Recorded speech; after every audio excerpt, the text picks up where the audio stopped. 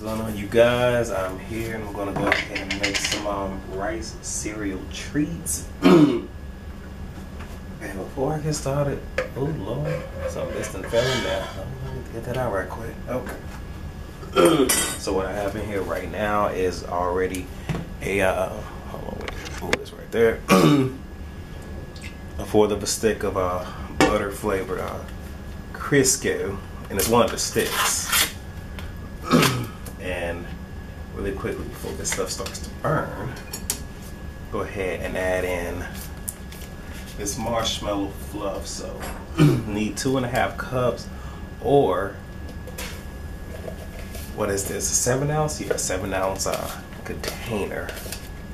Let's try to get all that out of there. Okay. Try again. Like I said, I won't get all this in there, and this little piece just doesn't want to stay away. Okay. Well, like I said, I need to hurry up and move fast. okay. So while this doing this thing that don't want to come off, I'm going to need five cups of rice cereal.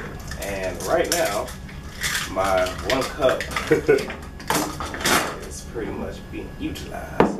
So I'm gonna have to do half cups. I need to like move fast. One. Alright, so that right there is one cup. Like so I gotta move fast. So add it in. Get all and then just add the last of it. And pretty much I need five and a half cups. Remember, this right here is a half cup for me.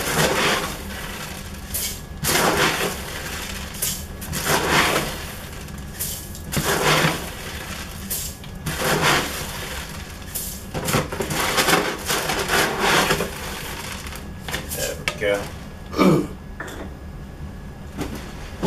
All this stuff off to the side. Get back in here and pretty much just to stir and not do what I just did, knock stuff over. But stir it till everything is combined. And I'm making a mess. This is embarrassing, you guys. I'm making a mess.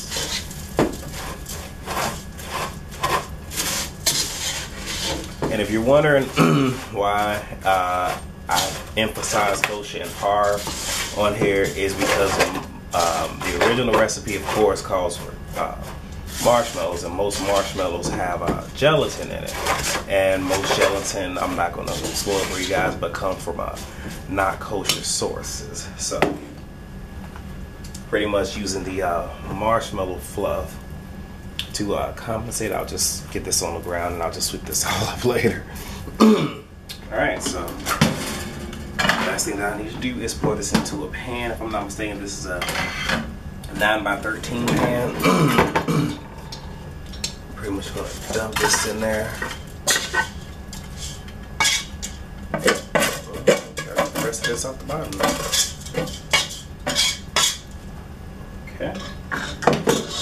And then what I recommend is, you know, you guys wet your hands a little bit. And this is how to, oh, it's not, all right, so sorry, you guys. And then pretty much use wet hands so everything doesn't stick, you know press it down.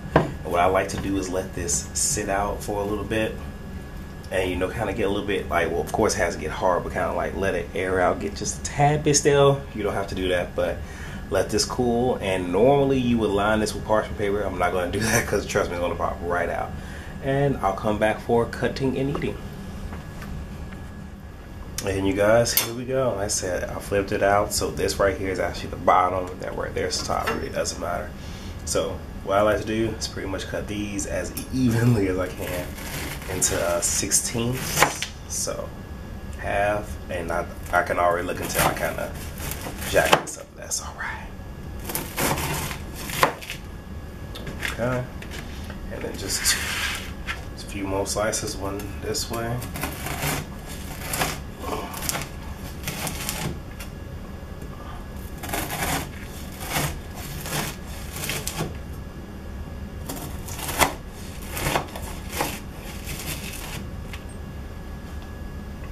That's it, you guys. Those are the trees for you. That's how they look. Like I said, 116th is the serving size, unless you want to sit here and do, you know, what is it, uh, 113th.